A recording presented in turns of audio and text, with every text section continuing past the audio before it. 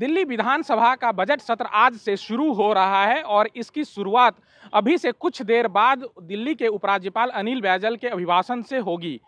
अभिभाषण में आमतौर पर सरकार की उपलब्धियों और योजनाओं का बखान किया जाता है तो उम्मीद की जा रही है कि उपराज्यपाल आप सरकार की योजनाओं के बारे में विस्तृत जानकारी देंगे और लेखा जोखा पेश करेंगे।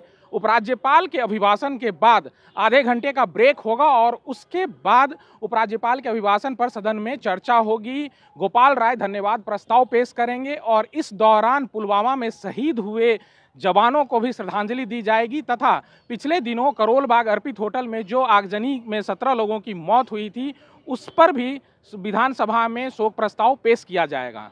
नई दिल्ली से आशुतोष झा ईटीवी भारत के लिए।